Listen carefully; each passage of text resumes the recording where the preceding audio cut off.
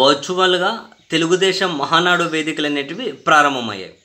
So ఇందులో మాట్లాడినటువంటి చంద్రబాబు నాయుడు గారు యాజ్ ఇట్ ఈస్ యథావిధిగానే కానీ తెలుగుదేశం పార్టీ నాయకులు కార్యకర్తల మీద దాడులు జరుగుతున్నాయి హింసిస్తున్నారు లాకప్లలో కూడా కొడుతూ ఉన్నారు అని చెప్పి ఇవన్నీ గుర్తుపెట్టుకోండి. వైఎస్ఆర్ కాంగ్రెస్ పార్టీ నాయకులు మీరు రాష్ట్రంలోనే ఉంటారు. చంద్రబాబు సార్ హైదరాబాద్లో ఉండి ఈ సమావేశంలో పాల్గొన్నారు వర్చువల్గా.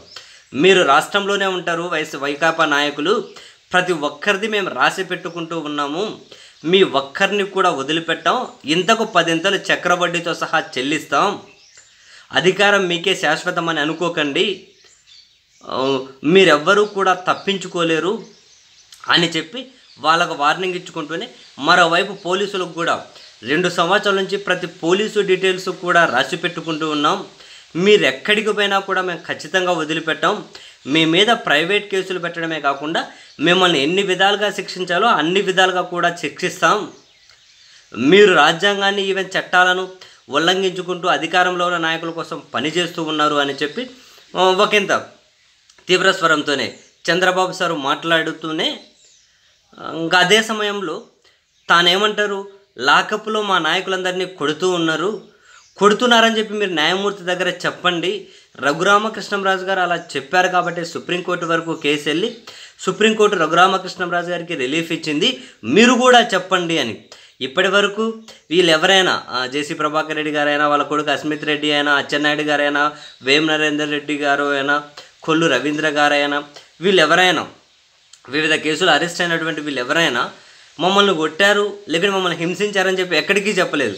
కానీ చంద్రబాబు సార్ ఏమో మా వాళ్ళను కొట్టారు మా వాళ్ళను కొట్టారని వీళ్ళు ఏమంటారు? వీళ్ళు అనుకుంటుండొచ్చు ప్రైవేట్గా. అరే మమ్మల్ని ఏమనకుండా ఏనే మొత్తం డప్పు డప్పు కొట్టి మమ్మల్ని వెనక ముందు వాయించేశారని చెప్పి చెప్పి కొట్టారని చెప్పి మా పరువు అయితే తీసేటట్లు ఉన్నారు కదా అని చెప్పి వీళ్ళు ప్రైవేట్ సంభాషణలో మాట్లాడుకుంటూ ఉంటారేమో. ఏమో చంద్రబాబు సార్ అయితే మా వాళ్ళందరినీ కొడుతున్నారు ఫుల్ కొట్టినారు అని అయితే చెబుతూ ఉన్నారు. సో అటువంటి వాటి మీద మీరు తిరగబడండి. మీరు జడ్జి ముందు చెప్పండి కొట్టారు అని చెప్పి మనం ఎవరిని కూడా వదిలిపెట్టమని చెప్పి చంద్రబాబు సారు మొత్తం మెజారిటీ పార్ట్ అంతా ఈ వార్నింగ్ ఇచ్చేదానికి మహానాడులో కీలకమైన సమయం అయితే కేటాయించుకున్నారు. కానీ నాకు అర్థం కాని విషయం ఏంటంటే మీకు అధికారంలోకి వస్తే మిమ్మల్ని మీ అంతు చూస్తాం మీకు మిమ్మల్ని వదిలిపెట్టాం మీ మీద కేసులు పెడతాం మీ మీద ఆకతలు పెడతామని చెప్పి ఇంత ఇంత చెబుతూ ఉంటే అధికారం వస్తే మరి ఇప్పుడు అధికారంలో ఉన్న వాళ్ళు అంతకు పదింతలు చేయమని చెప్పి చెబుతూ ఉన్నారా చంద్రబాబు సార్?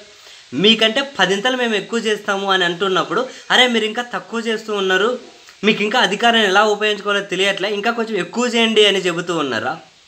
అధికారంలోకి వస్తే మీ అంత చూస్తాం మీ అంత చూస్తామని చెప్పి పోలీసులను వీళ్ళను ఇలా హెచ్చరించిన ఇటువంటి వ్యాఖ్యలు దీని అర్థం ఏంటో నిజంగా తెలియట్లేదు. ఇలా ఎందుకు? ఏమో అది వాళ్ళకే తెలియాలి. ఇలా చేయడం తప్పు అంటారు? మేము అధికారంలోకి వస్తే ఇంతకు పదింతలు చేస్తామంటారు.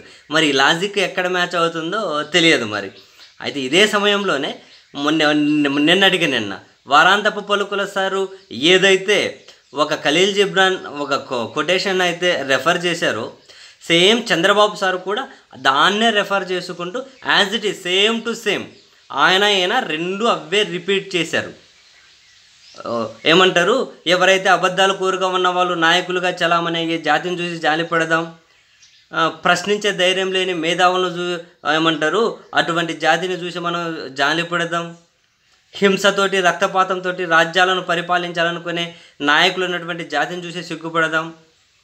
తిరగబడలేని అది వాళ్ళ హక్కులు స్వేచ్ఛ మొత్తం పోతూ ఉన్నా కూడా తిరగబడలేని పౌర సమాజాన్ని చూసి మనం జాలిపడదాం ఇటువంటి కోటు మొన్నటికి మన వారాంతపు పలుకుల సార్ ఏదైతే ఉందో అదే రిపీట్ చేస్తే మళ్ళీ ఈరోజు చంద్రబాబు సార్ కూడా సేమ్ యాజ్ ఇట్ ఈస్.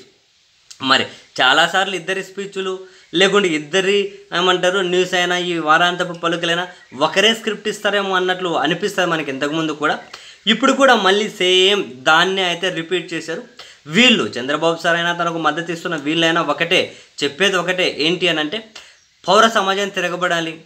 అందరూ జగన్మోహన్ రెడ్డి గారిని అసహించుకోవాలి ద్వేషించాలి రోజు లేచిన దగ్గర నుంచి తిడుతూ ఉండాలి. అలా తిడితే ధైర్యవంతులు తిట్టకపోతే చేయవచ్చన మేధావులు ధైర్యం లేని మేధావులు గొర్రెలు వాళ్ళు పిచ్చోళ్ళు వాళ్ళు పనికిరానోళ్ళు ఇంతే.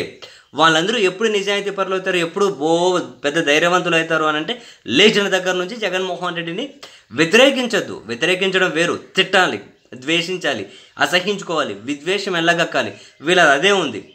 ఎంతసేపుని మీరు గొర్రెలా పడి ఉన్నారు ఆయన మీద తిరగబడండి గొర్రెలా పడి ఉన్నారు ఆయన మీద తిరగబడండి. జనాలకు అన్నీ తెలుసు. కానీ ఏమైనా కనుక లోపాలు ఉంటే ఇక్కడ ప్రభుత్వాలలో ఆ లోపాలు జనాలకు అర్థమయ్యే విధంగా చెప్పడం. మరి మీలా ఇప్పుడు జనం కూడా అనుకుంటే మీలాంటి రాజకీయ పార్టీ నాయకులు మీలాంటి మీడియా ఉన్న సమాజాన్ని చూసి జాలి పడదామని చెప్పి వాళ్ళు కూడా అనుకుంటే వాళ్ళు కూడా అనుకుంటే మళ్ళీ పెద్ద పడేది వీళ్ళకే. సో మరి ఇటు ఇటువంటి ఏమంటారు స్ట్రాటజీస్ ఎందుకు అవలంబిస్తున్నారో మనకైతే తెలియదు కానీ సేమ్ ఇటు ఈ ఇక్కడ ఈ సెక్షన్ ఆఫ్ మీడియా ఈ వారాంతపు పలుకులు చంద్రబాబు సారు మరి ఒకే డైలాగులే వల్ల వేసుకుంటూ జనాలనైతే ఓ రెచ్చగొట్టే ప్రయత్నం అయితే చేస్తూ ఉన్నారు. మరి ఎంతవరకు రెచ్చిపోయి వీళ్ళకి ప్రయోజనం కలుగుతుందో చూడాలి మనం కూడా.